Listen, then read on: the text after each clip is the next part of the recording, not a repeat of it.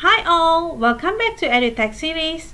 There is a request from viewers on how to remove the recorded video in Loom. I will share it in this video. All recorded video can be viewed using Loom online application, but you are unable to see the delete button. The videos need to be archived first before deleting them. So this will be the interface for your Loom online application and all the recorded videos can be viewed by using my videos link. So you can see all the videos there, but you're unable to see the delete button.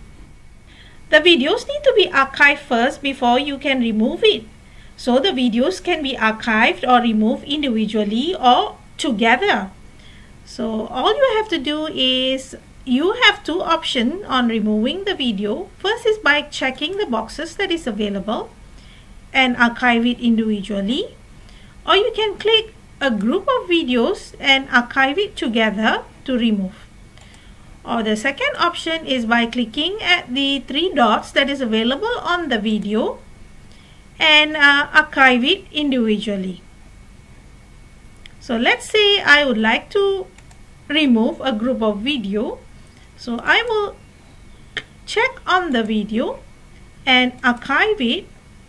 Then I will go to the archive folder and I'm able to delete the videos. So this is how you can remove or delete the video in Loom. Thank you for watching and check out the channel for more video tutorials.